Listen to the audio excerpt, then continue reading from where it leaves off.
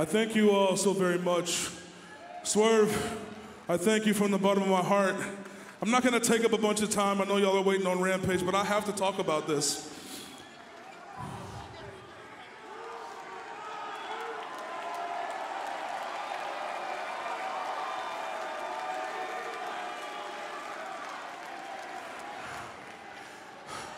I only have three people in my world that I consider to be extremely close to me. One of them I've known for about two and a half decades. Now I know what y'all are thinking. God damn, Keith, you old as shit, ain't you?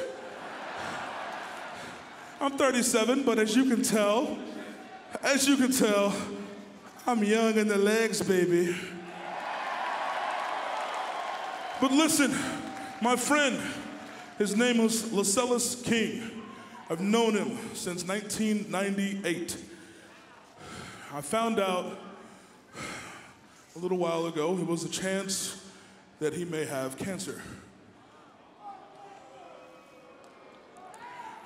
As most of you know, last year I nearly died. I didn't say a word until the threat was gone and passed. There isn't much you can do to me to rattle me against me. But when it comes to the people I love, found out two days ago, stage four colon cancer. And I dedicated this match to him and to another buddy of mine named JD Griffey. The fact is, I didn't care if we won or lost. The fact is, this is a brotherhood, and I'm devoting my everything to that. So, Lascelles King, this is more than just a victory for me. This is more than just a victory for our story. This, sir, is a victory for you and a statement of my goddamn love. I will always be there.